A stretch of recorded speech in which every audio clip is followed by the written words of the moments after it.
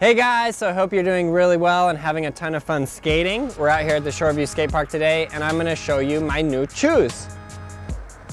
Oh, thanks Mario. So uh, I got these shoes and I'm gonna open this box and uh, tell you a bit about them. These are Adidas, Adidas shoes.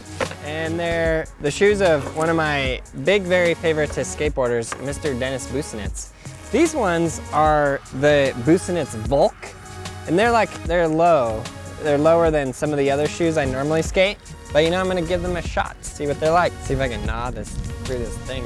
As you guys know, or maybe you don't know, I always skate suede shoes. I'm always rocking suede. Suede is very important because it's really, really grippy on grip tape. So you wanna make sure you have the maximum amount of grip right there on the grip tape, which makes these shoes really, really, really, really, really good to skate in.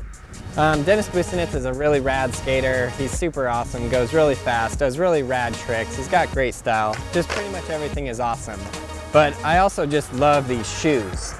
They're super stretchy, not like hard to break in. They're very, very, very comfortable. I guess I generally just like Adidas because the second you put them on, they feel like they were made to fit your feet. It's like you're stepping into a cloud. And when you're skating, you want to be very, very comfortable. I feel like the more comfortable you are in your shoes, the better you're gonna be able to skate and the less like attention you're gonna have on your equipment. Because if you're like feeling like, oh, these shoes don't really work that well, then you're thinking more about your shoes than you are the trick. So you put on a pair of shoes like this and you're like, let's roll this. Because they feel amazing the second you put them on. That's why I like them so much. They just really fit your feet quite well. So let's lace these bad boys up and uh, roll around a bit. So like I said, these are suede on top. They have a lot of rubber right here, which I really like. The rubber is also very coarse right here. So I feel like I'm gonna get some really good grip on the grip tape with that nice thick piece of rubber there as well. How do they look, Lance?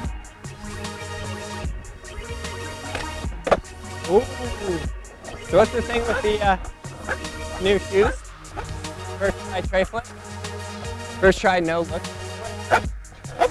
Will be a first on the Braille channel.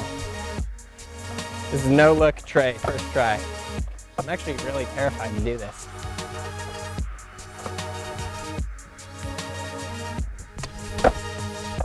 Did I land? Whoa.